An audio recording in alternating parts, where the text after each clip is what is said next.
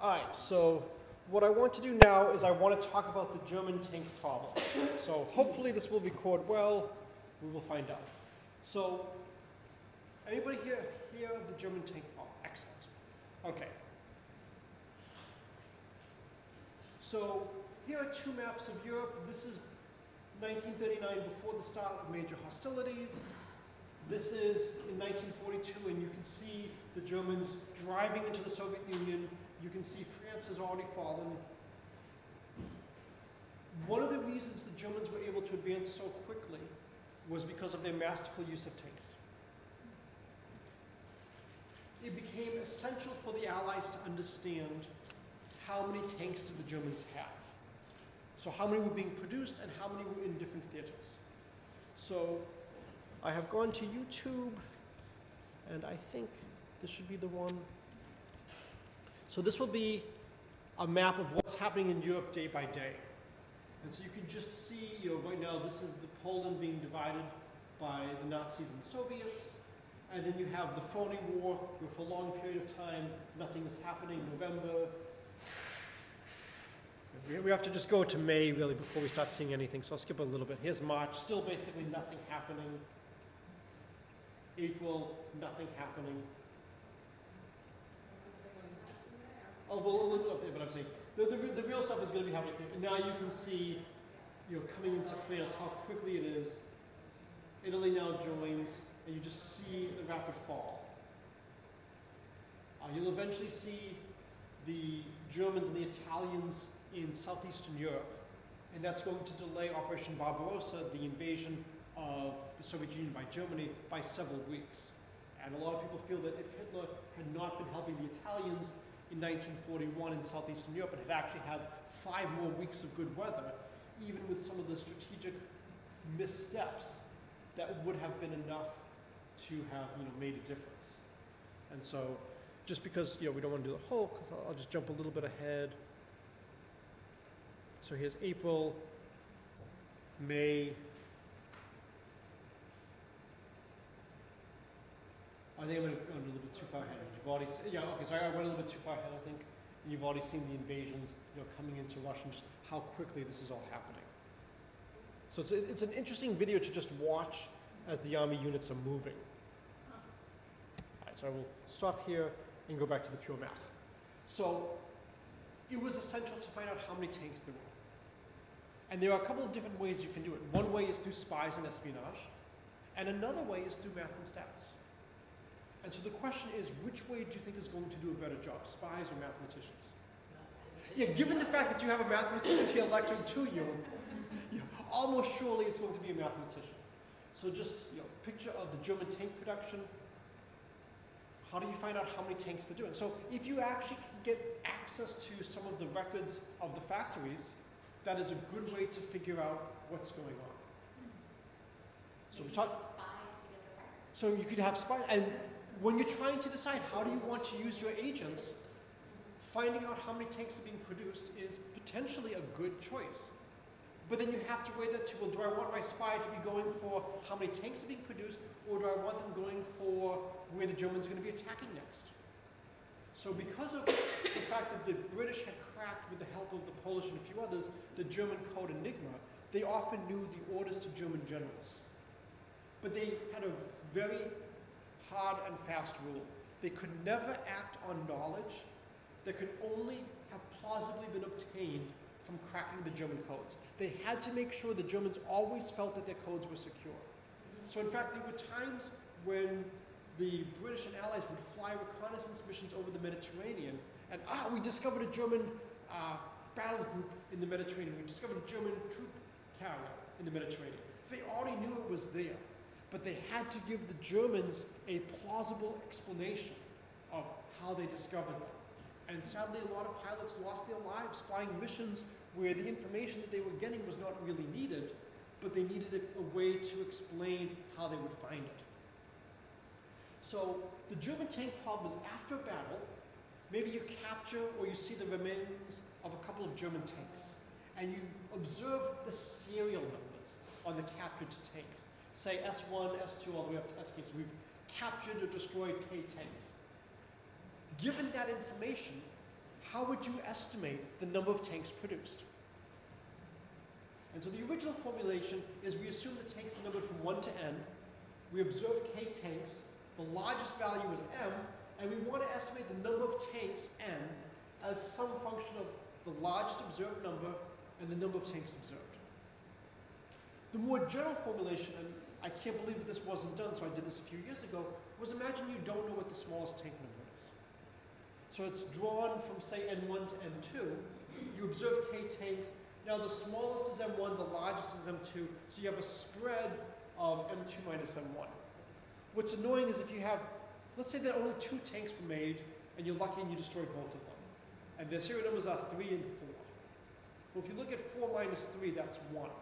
So the spread is actually going to be 1 less than the number of tanks. So we know the number of tanks is going to be, you know, smallest, largest, plus 1. Little bookkeeping. So whenever things are being done in real time, never worry about the small algebra details. Always go big picture. And I have, you know, a very nice write-up of all this if anybody's interested. So if the Germans knew that the Allies were doing this, they would have encrypted the serial numbers. And in fact, people do that now. They don't want you to know how much stuff is out there. Mm-hmm. So just start at one. Exactly. If you've ever gone to a piano bar, you know, what, will, what will you see at a piano bar? Other than a piano and a piano player. Tip jar. A tip jar. Always been What do you think the tip jar starts with at the, at the beginning of the shift? lots of money. Lots of money. So that it looks like, oh, other people have been generous. I don't want to look bad. I'll put some money. You're not going to start with an empty tip jar. So there are a lot of things where you're not going to naturally start at zero or one. And you want to try to figure out what's being added, what's the change. Okay. So what could be dangers of underestimating or overestimating? Anybody want to give me a danger? Well, you want to have as many tanks as they have. So You would want to make sure you bring the right number. you want to make sure you bring the right number. So if you overestimate how many tanks they have, you could lose the battle. If you underestimate, you might overcommit your forces. Wait, did you? No, it's the other way around, other way around. If you overestimate how many tanks they have, you could overcommit your forces, and then you would be using tanks in a place where they're not that necessary. And then there could be another theater of war which you are losing out on. And it's the old arms race. It's the old arms race. Building more than you need. So, uh, I will. So many bad Union generals during the Civil War, it's hard to choose just one. Anybody want to suggest a overly cautious Union general?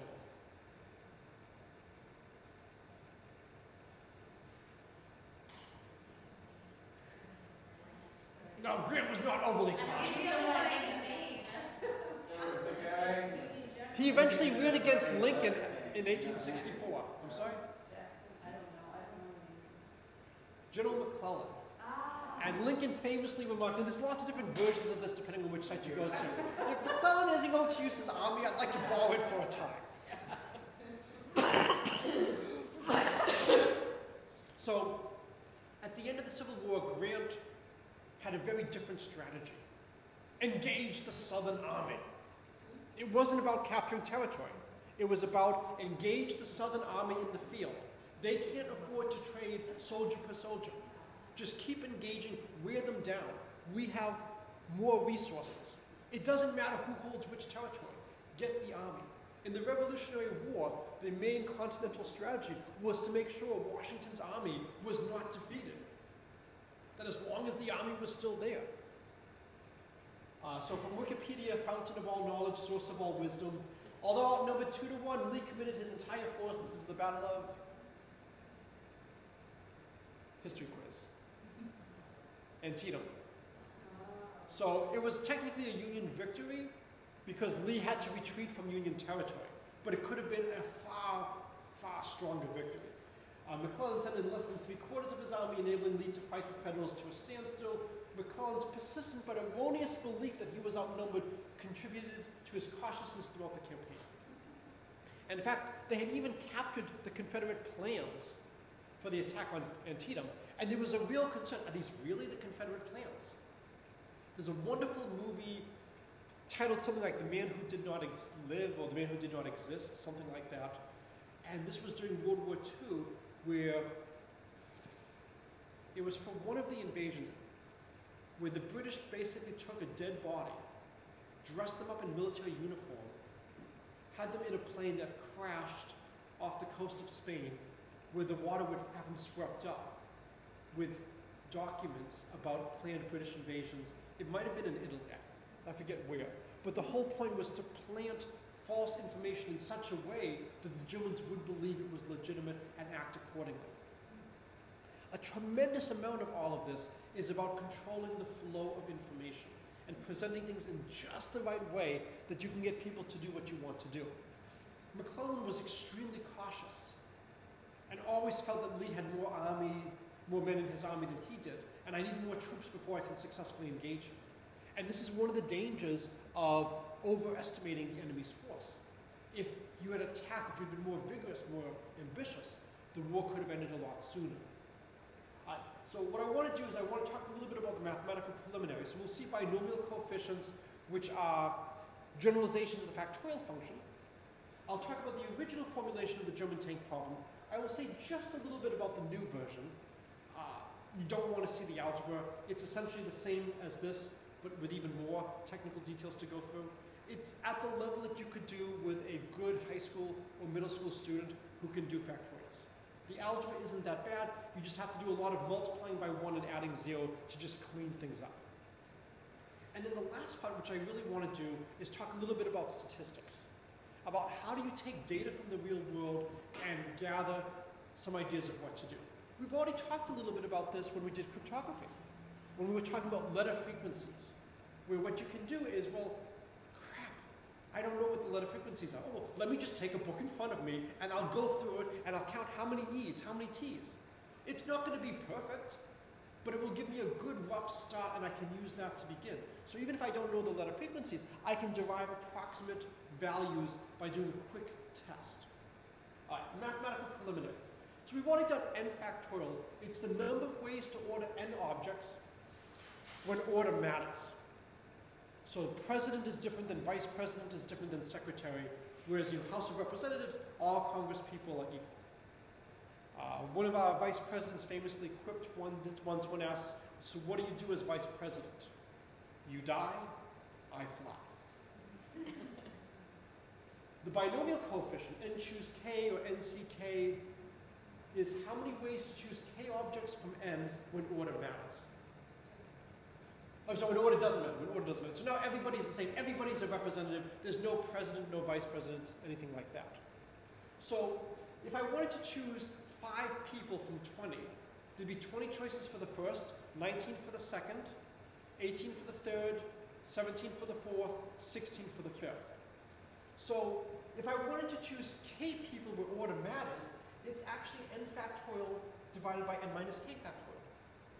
Because the n minus k factorial just kills all the stuff downwards. So if I had k equals 2, I would have n times n minus 1.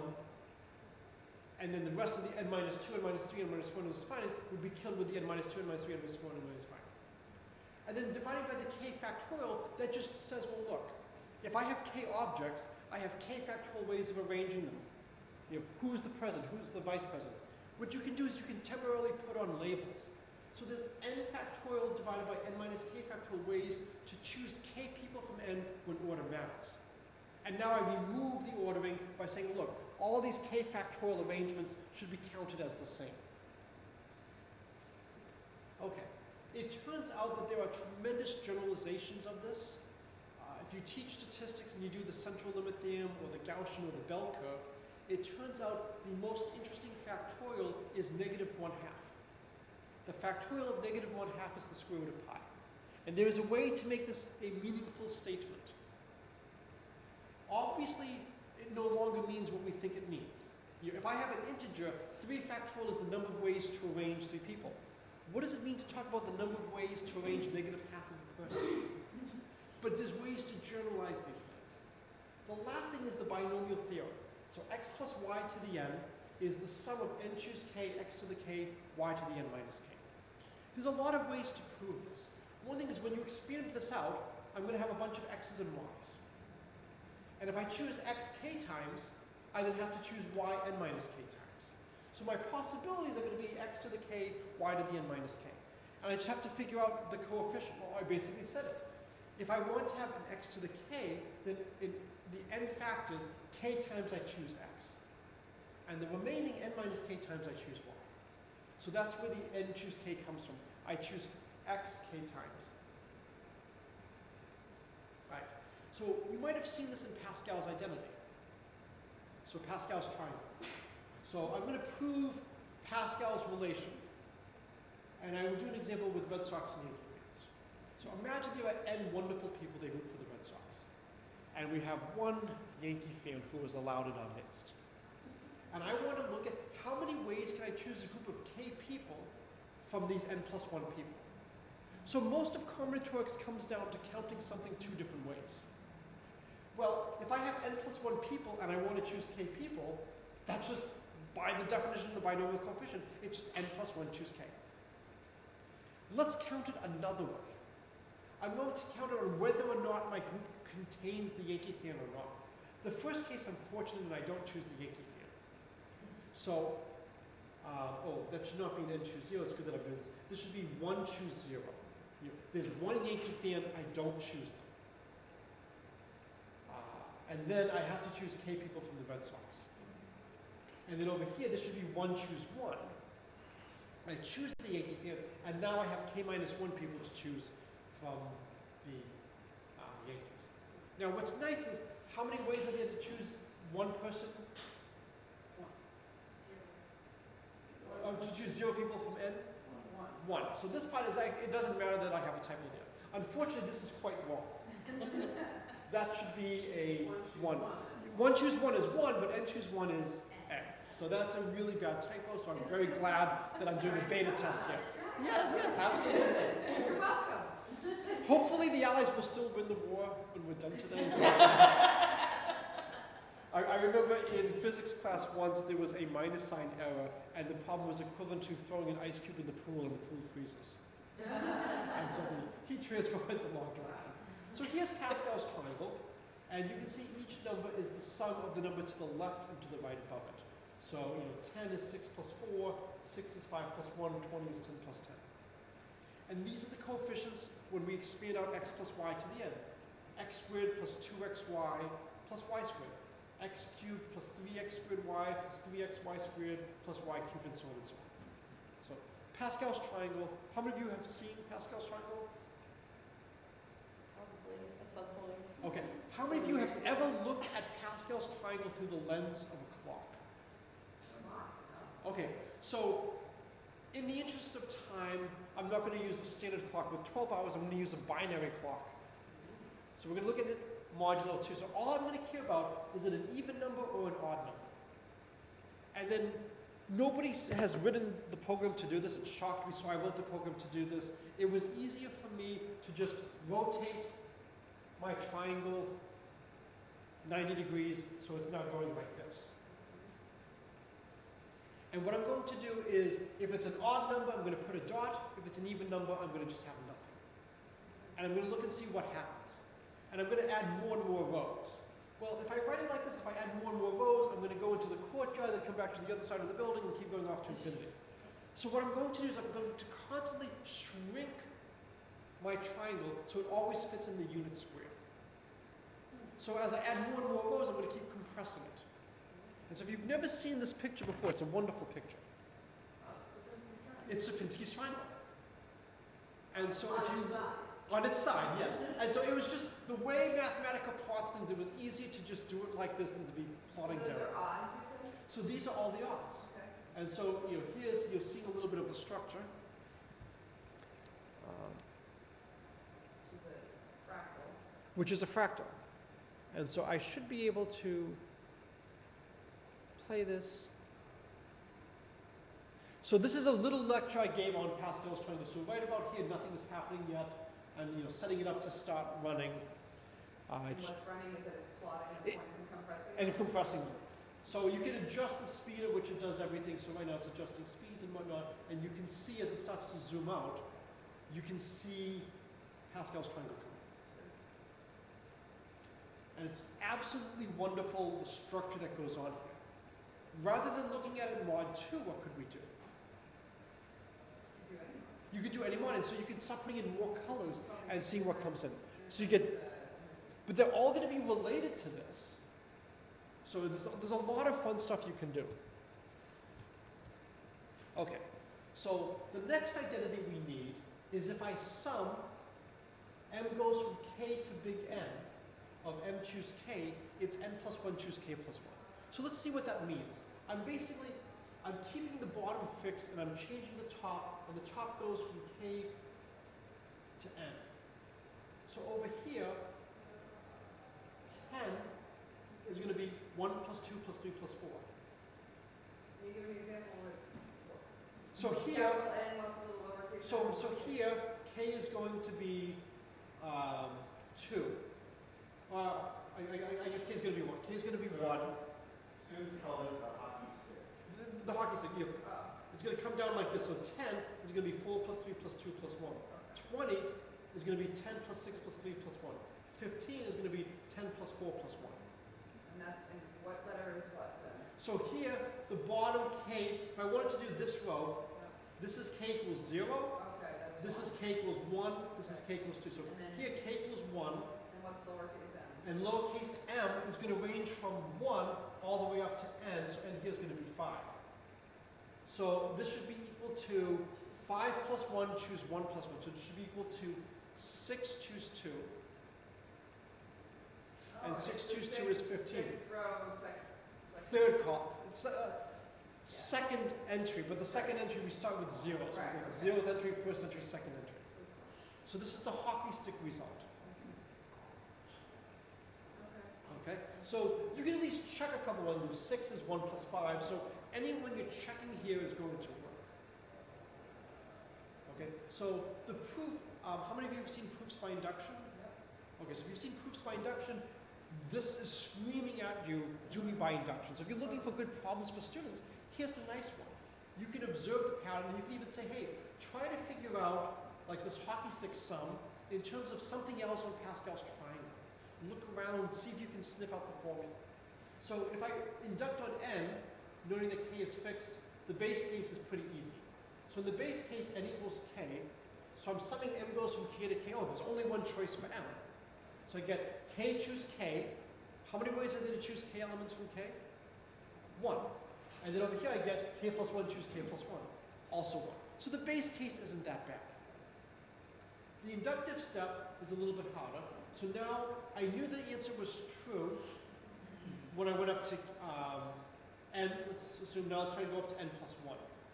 So by induction, I'm assuming that I've already done this for all values of n up to a certain point.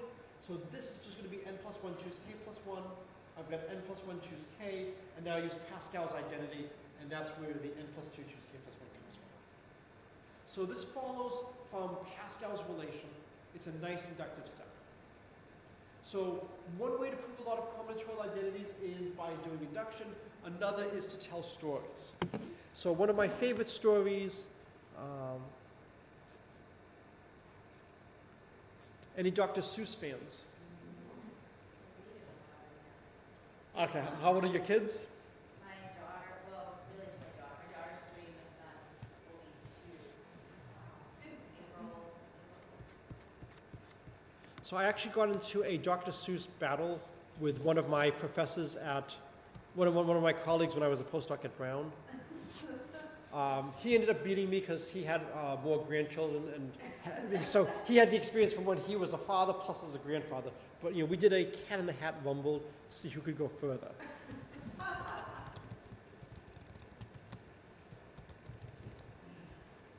I mean, I was able to do at least a quarter of the book, which wasn't bad.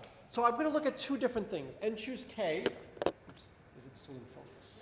Okay, good. And N choose N minus K. Looking for you. And so I'm going to prove, is it, is it still focused?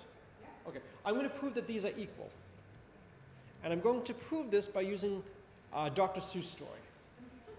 Anybody want to guess which story? Nope. That's a good one. Nope.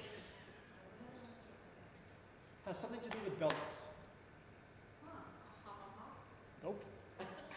Well, that does have to do with bellies. I got that hint. The Sneetches. There are two types of Sneetches on beaches, right? There are those with stars on their bellies and those that don't have stars. And there's a huge discussion as to is it better to have a star or not a star? And at the end, they realize it doesn't matter. So N choose K.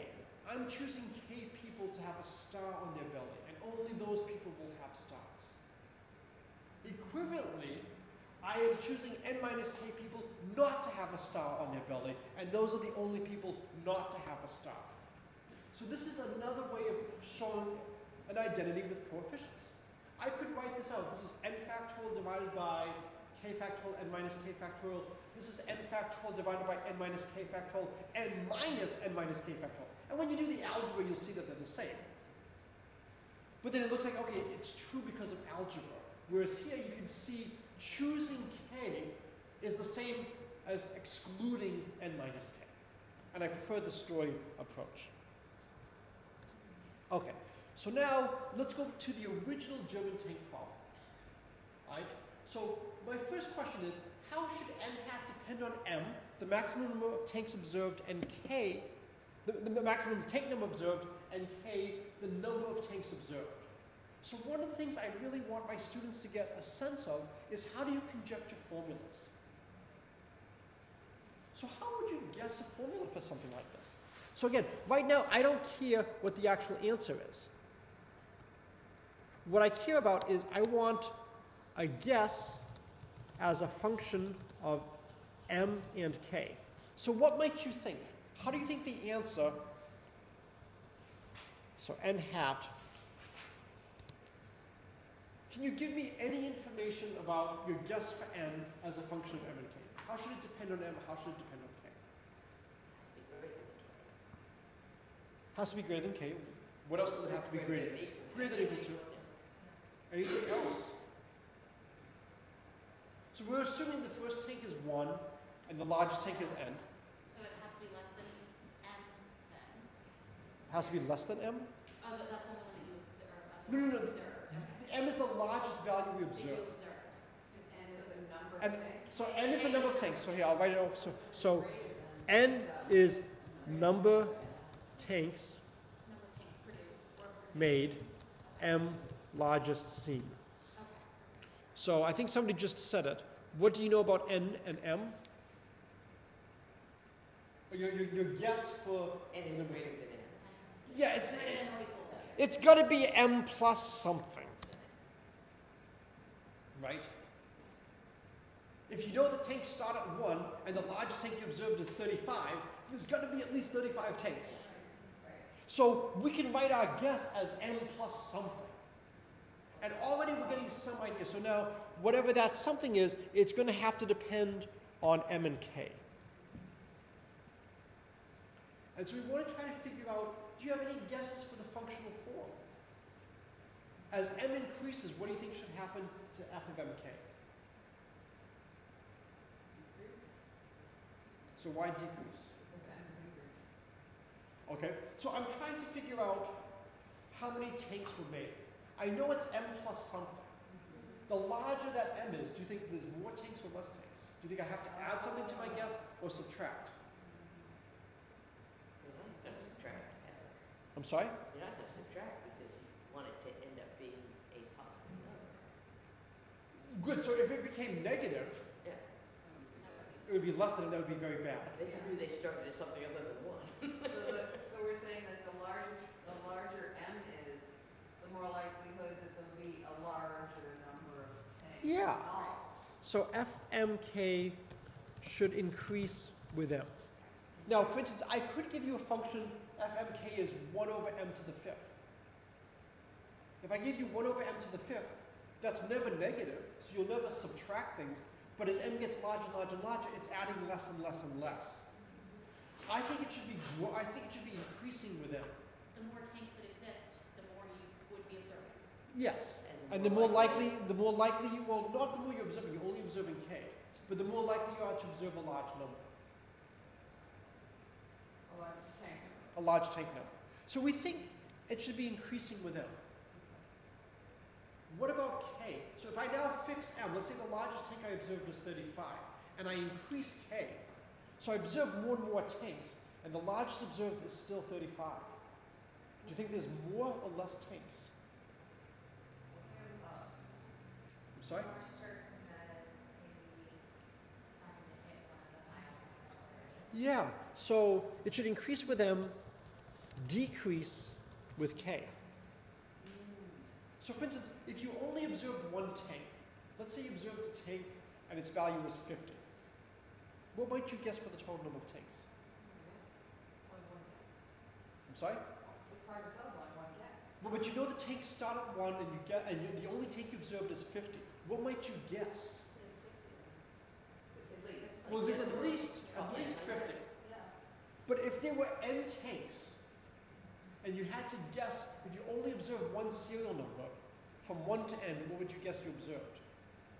The middle. Yes, and if there are. So if you, so you would probably guess that there's 100 tanks if you only observed one. Okay. If you observed one tank and its number was 70, what would you guess? 140. So we know a little bit of extremes. If we had two tanks that we observed, we might think that maybe the large tank might be around the two-thirds mark.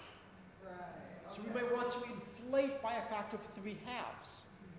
And so with a little bit of work, this is a bit harder, you might come up with, you know, probably the simplest thing I could think of is something like m over k. As m gets larger, this gets larger. As k gets larger, this gets smaller.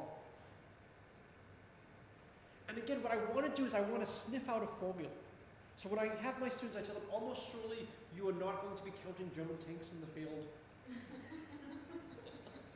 But the idea of how do you sniff out a functional relationship, that's something that can be valuable. Now we have some extreme cases. There is one value of k where you know how many tanks there are. You may not know that you know.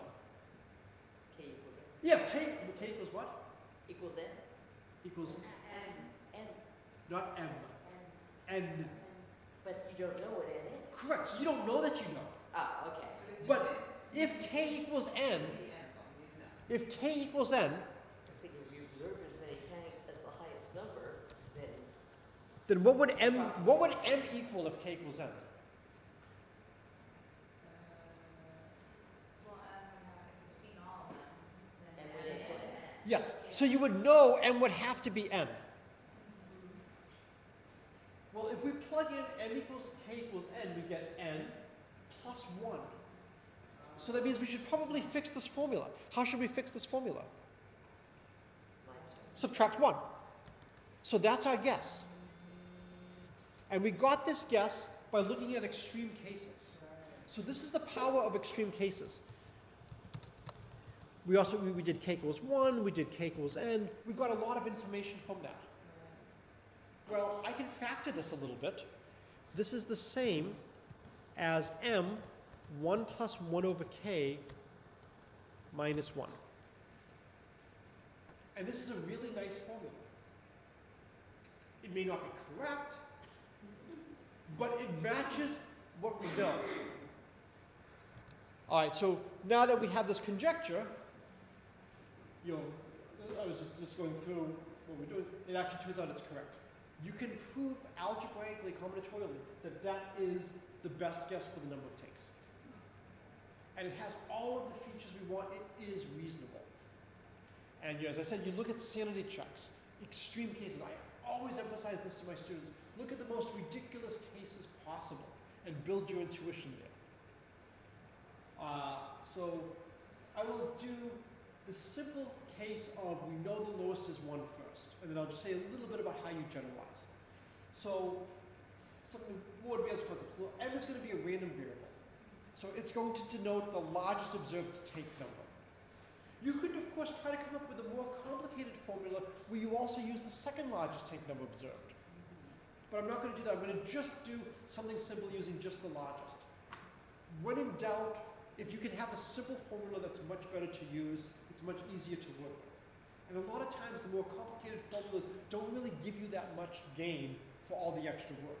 The simple formulas often do really well. So I want to calculate what is the probability if I have n takes and I observe k of them, that the largest serial number observed is little m. So I want, what's the probability that big M, that I observe it equaling little m? Well, if m is less than k, what's the probability? So I observe k tanks, say I observe 12 tanks, and the largest observed serial number is 3. Is that possible? Shouldn't be. have to observe how many times? I observe 12 tanks. Largest, It it should should not You shouldn't be able to observe a larger serial number of 3. If you observe k tanks, what is the smallest, largest serial number you can, you have to pass that properly? It's k. Right? This is where commas and pauses really matter. Uh, everybody knows about, is it uh, koala bears? Yes? Oh. Eats, shoots, and leaves.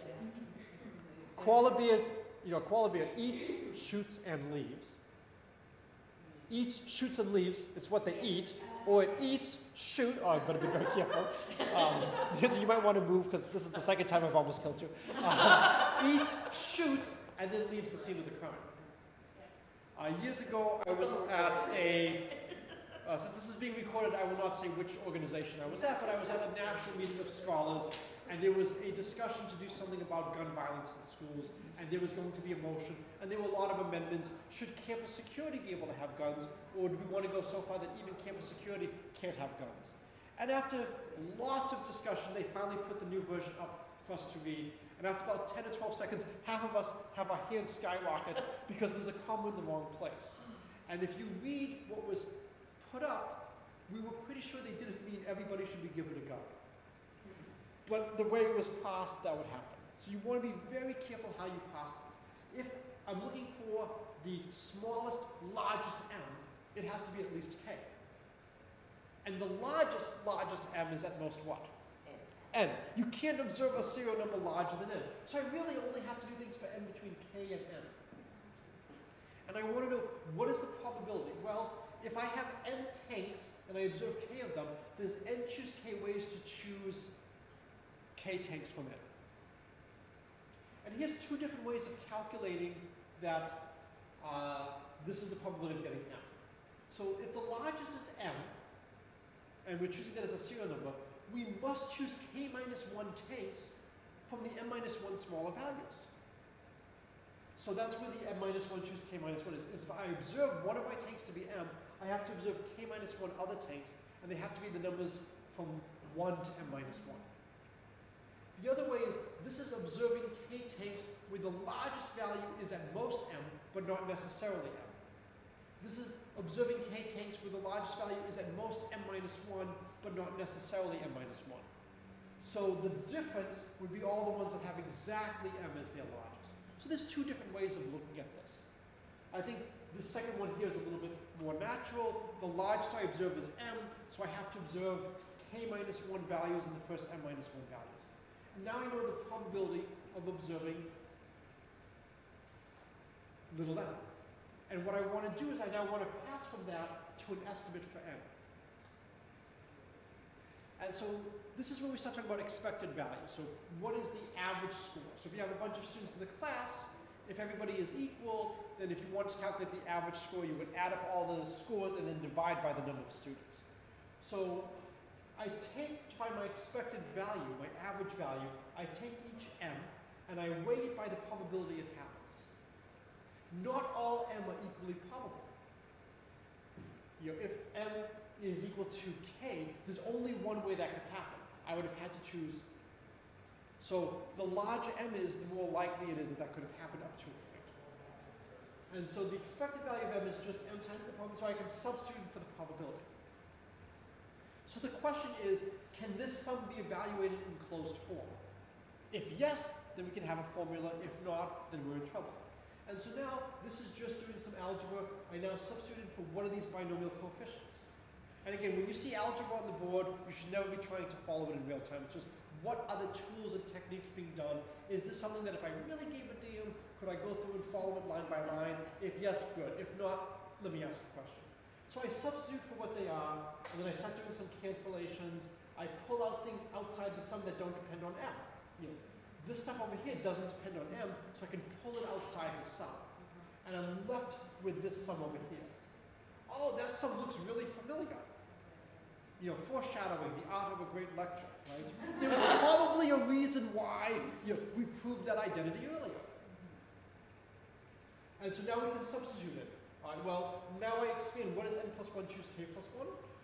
I write it out here. Oh, look, I have an n factorial, I have an n plus 1 factorial. That's going to give me an n plus 1 factorial over here. I can simply cancel a bunch of things like this. Here's my formula. And so I have a formula for the expected value of the largest observed number as a function of k and n. Well, if I want to find n, I can then solve for that in terms of the expected value. I can go backwards. And so if I just do the algebra from this, I get n is the expected value of m times 1 plus 1 over k minus 1. So I now put in my best guess for the expected value. My best guess is what I observe. I plug that in here, and there's my formula. So incredibly simple formula. Right. You could do the more advanced one, and so just because this is being recorded, I'm not going to really go through the details. The formula changes a little bit. So I've got the spread, and I've got a 2 over k minus 1. Well, if you think about it, should I be able to talk about a spread if I only have one observation? No. I've got to observe at least two takes. You know, because I don't know what the minimum value is, if I only have one observation, that's completely useless. I need at least two values. If anybody has taught statistics, you can't estimate the standard deviation of the variance with only one observation. You can estimate the mean, sure, but you can't estimate how things vary unless there is something to vary. So the fact that it has a k minus 1 is very reasonable. And if you take you know, the extreme case, if you take uh, basically uh, k equals n, this will come out to give you exactly the right answer again. And then the algebra is just a little bit more involved. I'm not going to go through the details, but the proof is pretty similar. So, you know, from Wikipedia again, wonderful table showing the difference between the math stats people and the spies. So this was the intelligence estimate. This is the German records, which you can get after the war, and this is what the math stats people did. So you know, you want a powerful example to tell your students about why we care about math and stats, why we care about this theoretical stuff? Look at this and give them, you know, the Battle of Antietam to look at and the cautiousness of McClellan. Well, he's got the battle plans for the Confederates. But he was so afraid he was outnumbered. He could not take advantage of the opportunities. This is incredible looking at how accurate these numbers are. And again, you could probably derive more complicated formulas if you want to include, say, maybe the second largest take observed. And the question is, is it worth it? Nowadays with computers, you could have very complicated formulas. Uh, any football fans here? I have issues with the danger of the sport, but um, I told him the I, so I actually went on strike this year, but because I will not let my son play, and if I won't let my son play, I feel guilty about watching it. But my son has convinced me I won't play football. Can I please watch with you? So, how many of you have heard of the quarterback rating formula? So, the formula is extremely complicated. It involves lots of different things, but it's normalized so it gives out numbers. 100 is a good game. You know, 50 is a bad game. 30 or 40 is like the New York Jets. there was, I, I, I can't help saying this, but there was one game where it was either the Jets or the Bills quarterback was so bad, if you pretended that they were the quarterback for the other team, their quarterback rating improved. They threw that many interceptions over so many passes that it would have actually been better to just score them as playing for the other side. But you don't need to know the nuts and the bolts of the quarterback formula. Just knowing roughly that, you know, 80 is not bad, 100 is great, 120 is phenomenal, something like that is enough to get a sense of what's going on. We can have more complicated formulas now. A lot of times the extra complications don't really give you that much and it's not worth doing. We'd like to have simple formulas. All right. How many people have ever done regression, linear regression, some statistics like this? So I want to talk a little bit about how you can try to use statistics to sniff out relationships. And I'll start with you know, a very famous problem, which does have some applications with cryptography. Uh, I'll talk a little bit about planets. It's changed since I was a kid. We had nine planets, I'm sure everybody, everybody here had nine planets when you were younger. I just found out at my daughter's conference that there are now five oceans. There's the Southern Ocean as well. Huh? But the National GeoB does not recognize the Southern Ocean as an ocean, but other sources recognize now there's five oceans. So the idea is to find the best fit parameters. So we have some relationship. Let's assume we believe that there's a linear relationship. So I observe a value of x, and I believe y linearly depends on it. Say you know, axi plus b. Think back to the Caesar cipher. We've seen this already. I have three different ways I can measure error. The first is I take what I observe and I subtract what I predicted. The second is I take the absolute value of what I observe and predict. And the third is I square the difference. Going back to Monty Python, one of these is right out. Which one should we never use? The first. Why should we never use the first?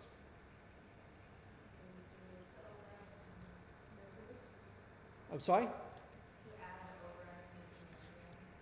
Yeah, if we add the overestimates and the underestimates, they could cancel. So I don't want to save. So imagine I have two data points. Here's one data point, and here's another. And I want to find the best fit line between them. Oops. Does that look like a pretty good best fit line? Okay. I claim that the best fit line is actually this. And if, interesting. Okay, and the reason is if I look at the error over here, if I've done it correctly, that's going to perfectly cancel with the error over there. And you should not have this red line as the best fit line, but it will return an error of zero. If you wanted, you could even have negative error. I'm not quite sure what that would mean. So that's why the first is right out. So now we're down to the second and the third. They are both legitimate contenders. But there is one of them which, if I am hired as the consultant, I, I will use, and if I'm hiring someone as the consultant, I will have them use the other one. And you know which one is easier to work with? Not the absolute value. The square is easier to work with. And the reason is calculus is available. The square function is differentiable, the absolute value function is not. And so by using calculus and a little bit of linear algebra, we can actually come up with closed form expressions for the best fit values of A and B if we use squares to measure errors.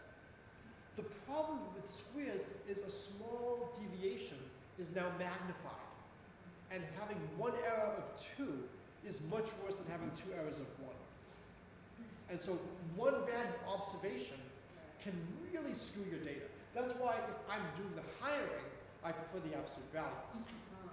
But if I'm hired, so what you do is, if you know some calculus, you look at your error function and you set its derivatives equal to zero with respect to A and B, and when you do some algebra at the end of the day, you get explicit formulas for A and B. The actual values don't matter. What matters is that there's an explicit solution. So when you talk about what is the best fit value, there is a unique answer. So I serve on a regional school committee. We recently regionalized fully Williamstown and Lanesborough. We had been partly regionalized for decades at the middle high school level, but the two town elementary schools were different. So we had three school districts, elementary Williamstown, elementary Lanesborough, middle high school for the two towns. How many school committees do you think we needed for three schools? We have, we have the same three school committees. We had four. Four school committees for One for three the middle, schools? One had four. We're good. We had two elementary school committees, we had a middle high school committee, and then we had like a super committee of the two elementary schools that was pulled from memberships of the two of them. And then we actually had other things where that super committee and the middle high school committee would work together. So it was an incredible interlocking uh, nightmare. So now you have one? Now we have one. Wow, that's great. You have one elementary or? you- We have two elementaries, but one, one in each town. But we wanted to unionize, I would not to, to regionalize, and one of the things is we had budget on the order of you know 20, 24 million dollars. We get about 3.5 million a year in Chapter 70 funds. If you are not regionalized, the state will tell you how much money goes to each school. If you regionalize, they will only tell you how much money goes to the district. and they won't tell you the formula. So one of my jobs was I can sniff out using linear regression how much money would have gone to each school if we hadn't regionalized. And then this way we can keep the budgets of the two elementary schools separate for the towns. And so this is a great application of statistics and linear regression. And so I got to explain this to the different finance committees and voters, which was a lot of fun. And so when we have a recording malfunction later, I can talk more about that. But uh, I was within ten thousand dollars for the three buildings because things vary very small amounts. I will save the rest for the malfunction. Now, if you could only do linear relationships, it would have limited applicability because most things in life aren't linear. If you teach logarithms to your students, this is one of the best applications of logarithms. It's all about data presentation. So again, I know this is a cryptography class. This is loosely linked to cryptography through the Germans should have encrypted the serial numbers, and a lot of people do this now so that companies can hide how much they have. So there is at least a connection. But a lot of it is the applicability of looking at things the right way. And we talked about this with the Rubik's Cubes, that if you look at the Rubik's Cubes the right way, these strange cubes are really the same as the standard 3 by 3 Most of the time, sadly, students don't understand why we care so much about logarithms. A lot of relationships are linear after you do a log or a log-log transformation. So imagine y equals bx to the a. If I take logs of both sides, I get the log of y is the log of bx to the a, so it's the log of b plus the log of x to the a, it's the log of b plus a log of x. And so the reason I'm using a capital B here is I'll let little b be the log of b. So if I have a power relationship like this, it becomes a linear relationship between the log of a, between the log of x and the log of y. And this is the power of logarithms. Relationships that don't start off looking linear can be made linear, and now I can use linear regression. So here's one of my favorite examples. Kepler had three laws of planetary motion, and these were phenomenally valuable for Newton in terms of trying to sniff out what is the gravitational law. So Kepler's first law, planets travel in elliptical orbits. Not so bad. Next, planets sweep out equal areas in equal time. So if you look at the orbit around the sun, if you look at the sun and you draw a line from the sun to the planet, and you wait one month, and you see what area swept out, that's the same as another month down here. Mm-hmm.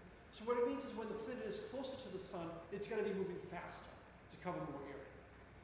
So there's an immediate application you can get from that. And then the last law, it's the Sesame Street, one of these things is not like the other, one of these things just doesn't belong. If t is the orbital period of a planet traveling in an elliptical orbit about the sun and no other objects exist, then t squared, the square of the period, is proportional to the cube of the length of the semi-major axis. This is a little bit different than the other laws.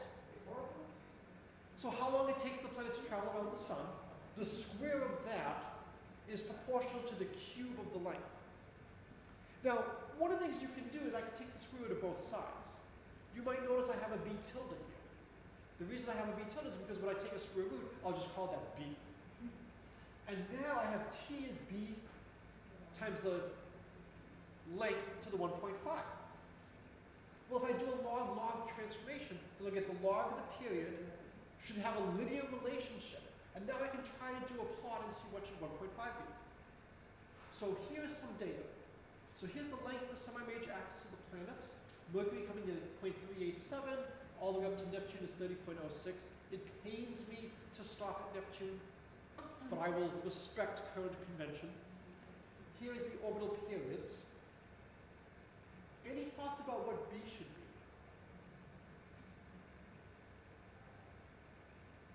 It's a constant. B is a constant, but I'm claiming you should be able to figure out what B is from looking at this data because of the units we're using.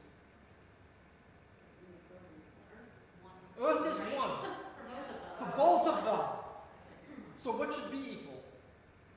If when, when Earth we have a one and a one, so it doesn't even matter what A is. What should big B be? What? We're choosing units of length where the length of Earth's thing is one, and the length of the Earth is basically one. So there's a lot of great units in mathematics. There's the Bruno, which is the indentation in cubic centimeters from dropping a grand piano off like the second or third story floor of a building at MIT. There's the Smoot. I don't know if any of you went over that bridge today. that's the, the length of certain. Yes. So Smoot was a pledge at a fraternity at MIT, and they wanted to know how many Smoots long was the bridge. So they just kept picking him up and marking him down. Yeah. The town of Cambridge, city of Cambridge was not pleased, they painted over it. Well, the fraternity wasn't going to be so they just took Smoot again, and this went back and forth. And now it's so accepted that they've institutionalized the Smoot marks, and when there's an accident on the bridge, they report how many Smoots from the end was the accident. And then Wow. you paint them now. And they repaint it now. They repaint them now. And Smoot eventually became the president of like the National Board of Standards. Wow. I'm sure, well, yeah, I, I am a unit of measurement. uh, one of my other favorite units is anybody know what the Milli Helen is? It's disputed as to who invented the Milli Helen. It is enough beauty to launch one ship. Oh. Enough beauty to launch one ship. You know, a Helen is too much for most people that you meet in life. Your present company, of course, excluded. But uh, lots of fun units. So here is a plot of a log-log plot of planet periods as a function of planet lengths. Incredible fit. And we get 1.49986.000148796. Not bad. And again, there are other planets in the system, so you know you're not expecting a perfect relationship.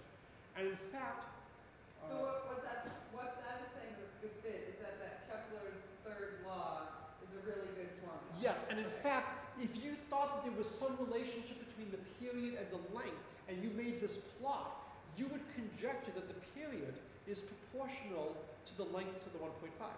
So this is a way to see Kepler's law from data. So if you didn't know what Kepler's law was, here's a way to try to infer it. And of course, the problem is in the real world, the planets do pull on each other, and that's going to cause some smaller perturbations. Because the law said, no other plan. No other planets. So if you have the ideal situation of just one star and one planet, this is what you would get. And in fact, um, up until, say, the 1700s, the furthest planet known was Saturn. Then in the 1700s, Herschel discovered Uranus, and in probably the greatest example of ass kissing in the history of science, decided to name it after his sovereign, you know, King George. King George was thrilled, the rest of Europe was not, and after some negotiation, they said, well, Saturn is the father of Jupiter, so let's go with Uranus, the father of Saturn, and we'll do that as the name. We're not going to let him name it after you. For a long time after that, things worked pretty well, and then eventually they discovered that the orbit of Uranus was a little bit off. And so some people hypothesize that maybe there's another planet far away, and every now and then their orbits are close to each other, and it will yank Uranus. And so two different groups were predicting where this planet should be. And one person, the Frenchman Leverrier, was able to convince the astronomers to point the telescopes before Adams and Britain could. They pointed the telescopes and they found the planet. And this was like the rock star celebrity of the you know, mid 1800s. He predicted mathematically where a planet should be. He then turned his attention to Mercury, whose orbit was a little bit off. And if you've just predicted a planet successfully to fix the issues with Uranus, let's try the same thing with Mercury. Maybe there's a planet between the Sun and Mercury. And they named that planet Vulcan after the god of the forge. And so they said, well, it's going to be kind of hard to see because you're looking directly at the sun. But on certain eclipses, you might be able to just barely see it. And so they predicted when the first chance to see it was, they had people train their telescopes, and what do you think happened? No. Most people didn't see it. Some people saw it. And this is the danger when you have preconceptions. It's very easy with you having bad data or difficult data to have your preconceptions. I want to be the one to verify the theory.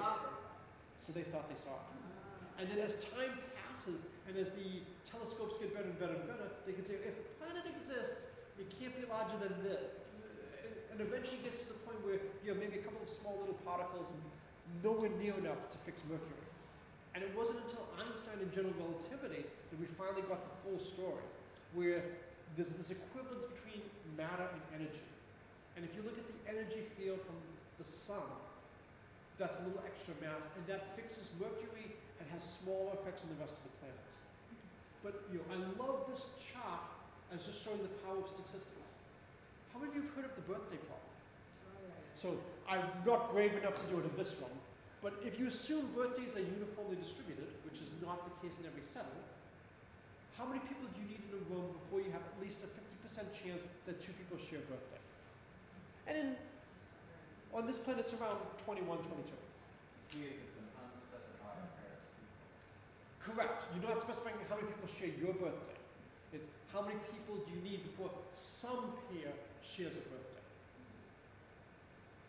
And so there's a lot of great stuff you can do. It turns out you can show it's about the, if you had d days in a year, it's about d to the 1 half square root of log 4. I'm going to ask a slightly different one. What if you want to just try to um, see how many people you need before you have the first collision? What's the expected number, not how many people you need before you have a 50% chance? It's not quite the same problem, it's close. You might expect it's still going to be around square root of d. And you know, here are some plots. Um, I ran it twice. Here's the best fit line. So again, I'm assuming a relationship, you know, how many people as a function of uh, number of days in the year to some exponent. I think A should be about a half. And when I do this, I'm getting A is 0.506 for the first one and 0.481 for the second one. So A is a half is pretty good. But I'm getting wildly different values for little b. And if you think about it, A is the more important quantity, especially when you take logarithms. B is going to have a very small shift of the whole line up and down. And so it's always a good idea to have an idea of how good is your method, how sensitive is it, how much can you trust the results. I trust the value for A a lot more than I trust the value for B. A is going to capture more of the feature of what's happening. We can do this for the German tank problem. And so this is a little bit more advanced. Um, I was looking at the excess number of tanks and minus what I observed. And it turns out it does a terrible job. And the reason it does a terrible job is I have little m on both sides of the equation. I'm supposed to do my quantity, which depends on everything on the right. And I put m on both sides. I tried to cheat. And the data basically realizes that I'm trying to cheat is giving me a terrible answer. You know, I should be getting a is about 1, I'm getting you know, terrible value of 0.7, similarly off for B. So I'm now doing it more accurately, I'm plotting the log of n against the log of m and 1 over k. So this is a little bit more involved, but um, just very quickly,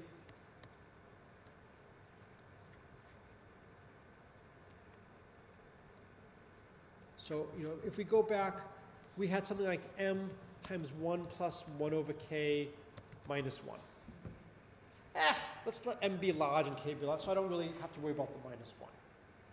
So if I believe that this is what n is, I can take logs of both sides, and I would get the log of n should be the log of m plus the log of 1 plus 1 over k. And now, if you know a little calculus or know a little bit about the logarithm, the log of 1 plus 1 over k is approximately 1 over k. It's not a bad approximation. And so if I do this, I now have a nice relationship. And so my two variables are log of m and 1 over k. And I have this conjectured linear relationship, and I can try to figure out, you know, let's look at maybe a log m plus b 1 over k. Oops. And that's what we're seeing over here, is when you actually do this, it comes out to being a really good uh, fit in terms of the. So, you know, it ends with, you know, a couple of, you know, references if you want to read more about the problem, and then the appendix. This way you can always just pause and the slides also online. It's just, the algebra bit more involved if you want to do unknown variance. I mean, unknown uh, Stirling number. But you can still handle it using very similar techniques. Yes, I will, yes. Or we can just see who's paying attention at UConn. But so what I like about this is basic math, you know, combinatorics, basic statistics, you know, finding the best fit line, logarithm, how do you present data? And you again, when I present it like this, it's very hard for me. If the colors were changed, these two blue things here were red, and this over here, you know, if these were all one color, that would be very different. It would be, it would easily draw my eye to how to look at it. So when you know, I'm talking with my students, it's so easy to mislead. How should you look at things impartially? How can you sniff out a formula? And with a little bit of work, we actually got a pretty good approximation. Then we said, well, let's look at extreme cases, and we actually got here's what the formula should be. Your tip, that extreme case. Absolutely. And so when you're going to your students, they can sniff out a lot of formulas, or at least how it should depend. There's you know the unit analysis of what should the pendulum period be as a function of the mass, the length, and gravity. And you can sniff this out by doing unit analysis. So these are really good techniques to emphasize. The last one is the need for encryption. That you are giving out information you may not be aware of. And the Germans did not realize that there was information that was being transmitted against their knowledge. So I will end with the Target story and then we'll break for lunch.